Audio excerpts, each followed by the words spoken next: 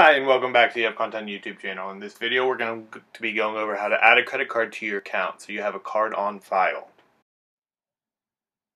To have a credit card on file, we're going to first want to navigate to settings. So we're going to go ahead and click on our username and then settings. Within here, we'd go ahead and click payment method. We can see that we currently do not have a card on file for our account of test. So we then go ahead and input our card number, our expiration date, and our security code on the back, and then save card.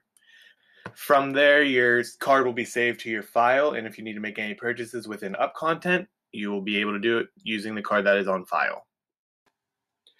If you have any questions or any concerns about the UpContent platform, please reach out to us at info at upcontent.com, myself specifically, Dylan at upcontent.com, or you can give us a phone call at the number 412 447 1773. Thanks.